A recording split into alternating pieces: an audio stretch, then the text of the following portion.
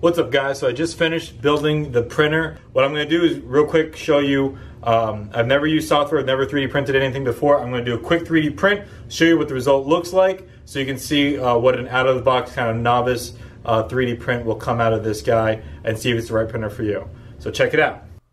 For the 3D print, I just took a standard robot model off an existing website to save some time. I used Repetier host software to instruct the printer how to print the 3D model, since the provided free software called Cura doesn't support printing directly to the Anet A8 printer. This left me with two options for printing, either store the model on an SD card and insert that into the printer, which when I tried this, the printer wasn't actually recognizing the SD card, or use Repetier host software, which is easy and convenient to use.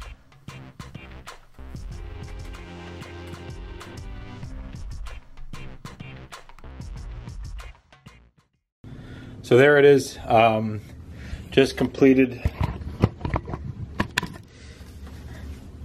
Just completed the final print that actually worked. Um, this is just one of those uh, 3D printer maker bots, just a way to quickly test um, if your printer is working, if you're doing it the right way. Um, I will sand it down. I have a, a little sanding toolkit because after the 3D printer, there are structures here on the sides of the arms.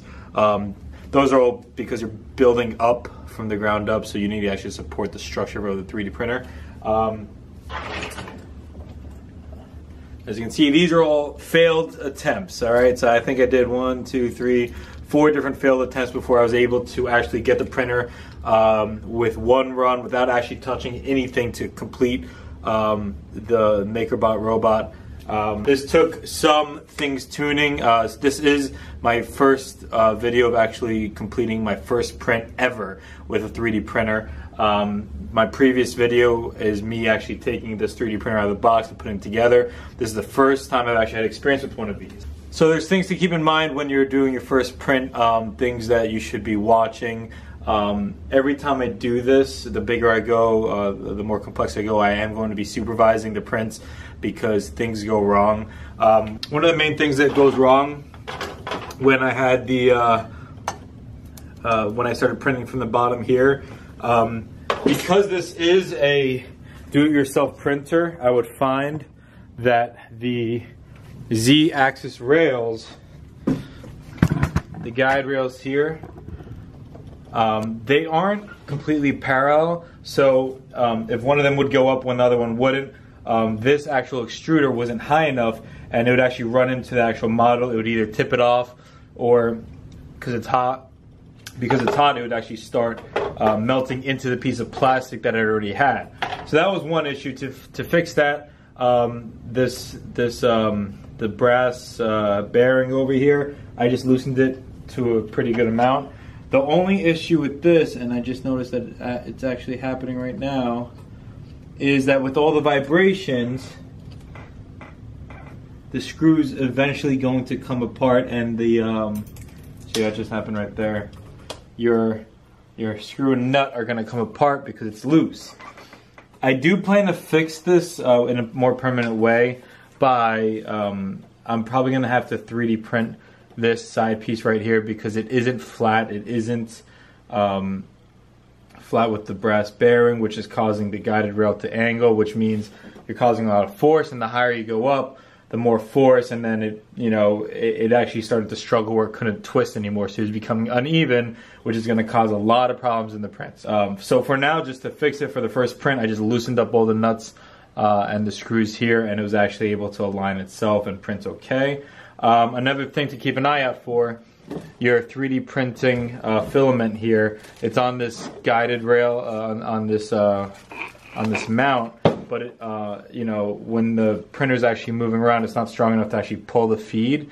Uh, so I was here guiding it and making sure I, I, left enough slack so that the printer could actually take it and go forward with it.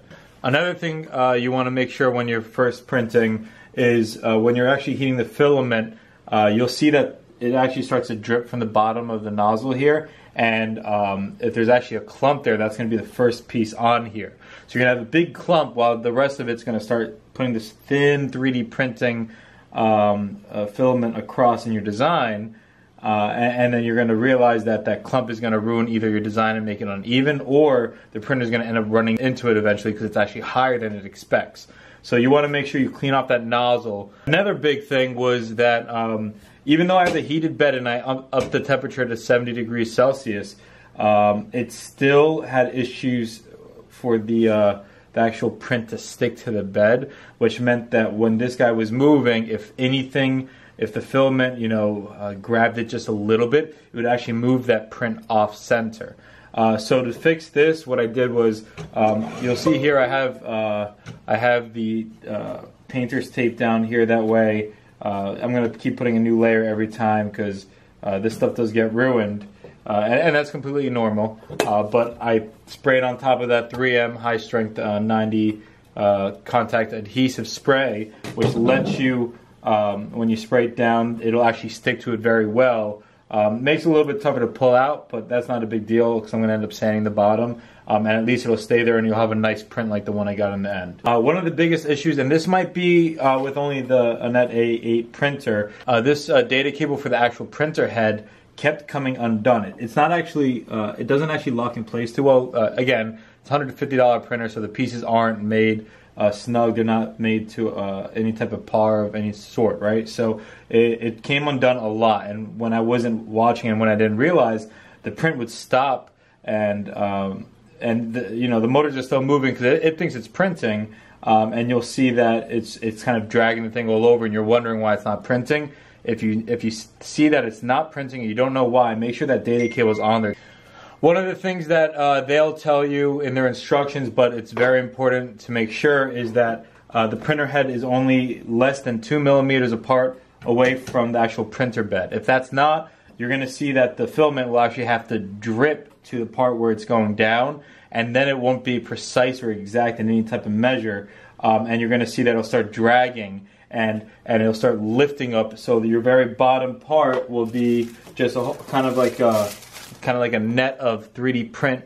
All right, it's just going to be like this because it's dropping until it know until it can actually make contact where the printer head was. So you're going to have this really weak uh, base structure, and then it'll start printing on top of it. Um, so if you have any important joints down there, uh, you're actually, uh, you know, your design's gone. Uh, uh, it's going to be screwed up at that point. So something important to do every time you start up the printer set it to home, see where that nozzle is, make sure it's a really small gap so that when it's printing, it's actually landing right onto the printer bed, um, and that way you'll have a nice exact print coming right out of it. One thing I know I'm going to end up adding to the printer uh, right off the bat is I'm going to put a little level onto the top of the Z-axis here so I know when those guide rails aren't, um, you know, going at the same pace. You know, they're two different motors, so um, you know, if one of them starts getting off by a lot, one of them's turning a lot more than the other and just causing stress, um, I'll actually be able to see it and visualize it before I end up printing and wasting some of my uh, my film in here. So this is everything I've learned from the first print of uh, using the Anet A printer. Um, again, I was able to make this a successful print without touching or doing anything to it at all. Um, which was a really great feeling, to be honest, after failing four or five times and thinking, man, this printer. But again, one of the things I really think is great about having your own do-it-yourself printer is you really understand what's wrong with it, so you could fix it and you can really uh, work towards uh, when there's a problem, you'll know exactly what you have to fix. So I think this is a great way to go. It's only $150 if you're looking to get your hands into uh, 3D printing. This is um, a really affordable solution that I think you will be able to um, do. Remember, every printer will have its own faults. So you might have similar issues to what I'm seeing here. You might have some others. Um, if you have any questions or comments, go ahead and comment below. I'll try to get back to any uh, any and all of you uh, guys and try to help you guys out. I really hope you enjoyed this video. If you did, go ahead and like or subscribe. So again, thanks for watching, guys.